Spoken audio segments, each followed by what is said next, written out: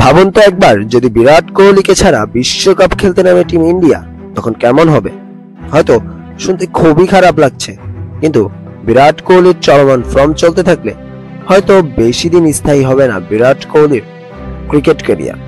খুবই খারাপ একটি সময় পার করছে ব্যাটিং রাজ্যের রাজার খেতাব পাওয়া কোহলি। এতটাই খারাপ সময় পার করতেছেন বিরাট যে তার খেলার ধরন পরিবর্তন না হলে যে কোনো সময় ছিটকে যেতে পারেন জাতীয় দল থেকে। এমন কিছু যদি হয়, তবে সেটা হবে ক্রিকেট ইতিহাসের সব থেকে খারাপ একটি ঘটনা। খারাপ সময় সবাই যায়, কিন্তু সেই খারাপ সময়কে পার করে ফিরে আসতে পারলে সেই তো বীর। বিরাট কোহলি একজন বীর, সেটা সবার জানা।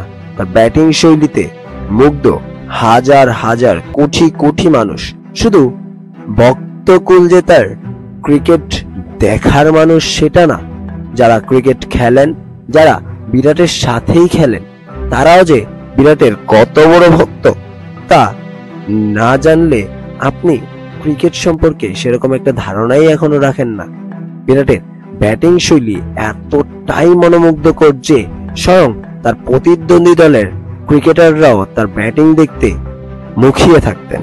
কিন্তু সে বিরাট এখন কিছুটা খারাপ সময় পার করছে। তার এই খারাপ সময়ে তার সঙ্গ দিচ্ছে তারই সতীর্থ সহ পাক দলের অধিনায়ক বাবর আজমও। বিরাট ফিরবে তার আপন নিরে বীরের বেশে। এটাই চাওয়া কোটি কোটি ভক্ত সমর্থকদের। বিরাট সতীর্থ থেকে শুরু করে স্বয়ং চির প্রতিদ্বন্দ্বী পাক অধিনায়কও চান বিরাট ফিরে আসুক তার পুরনো রূপে।